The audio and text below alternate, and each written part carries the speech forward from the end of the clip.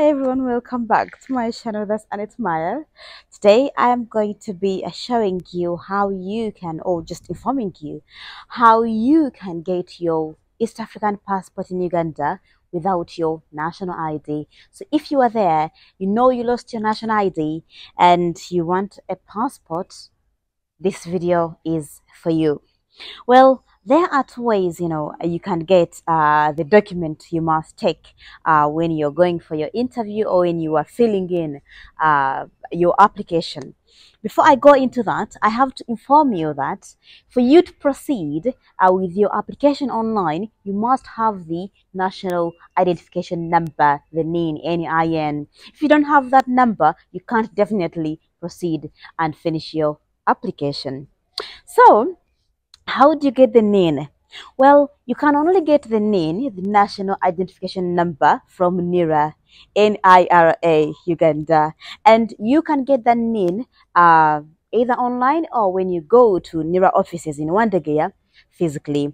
I do advise you to go to NIRA offices physically because uh, it makes things way, way easier. Well, online, you can still get the forms, download them, you fill them and all that but that takes longer for you to get um, your NIN number. So if you go to Wandegeya, what will happen? Well, if you go to Wandegeya, to the offices, you'll enter and you have to pay 20,000 Ugandan shillings um, at the entrance, maybe to the, no, to the office. So there will be an officer. And after paying that amount of money, you will be directed to the person who is going to help you to track, find your NIN because remember that you had the ID, but you lost it, right? So your NIN is there. So what you're going to do is to provide your name and your date of birth. And after doing that, they will check it and they can forward it to you in any, any way you want, either by a message or via, um, via WhatsApp or via email. Yeah, for most of my friends who have gone there, they've been getting their, their numbers via WhatsApp. So go with a smartphone. Yeah, or they can write it down for you. And after that, they will process a document that will act as like a recommendation letter. Not a recommendation letter, but the confirmation of you uh, as a citizen of Uganda. Yeah, that letter. I'm going to show you how that how that letter looks like. So wait for that. You'll get that letter with the NIN. So you'll get the NIN from that letter and then fill it in the online application and then you proceed so after paying in the bank as i showed you in the other video and then uh, going to your appointment you'll have to show that document.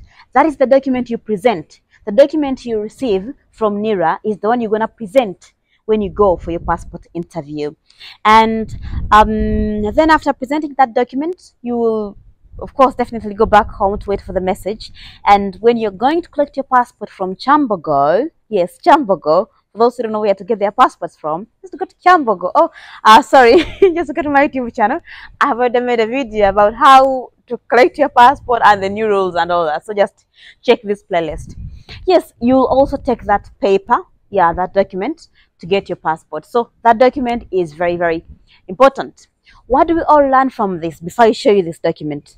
Well, whenever you get anything important, for example, a national ID or a passport or, or your certificates from school, scan them. Get a scanning app.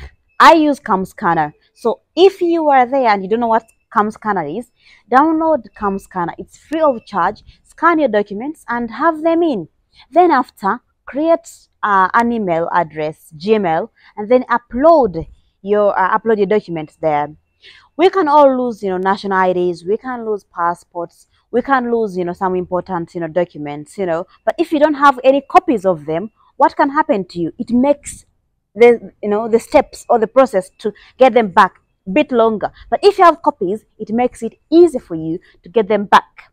And if you say, oh, well, I just made copies of them and I have a lot of them at home.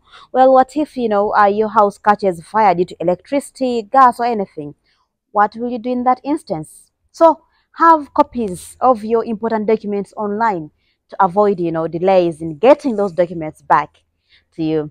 Ah, uh, yeah, so here is how the document looks like.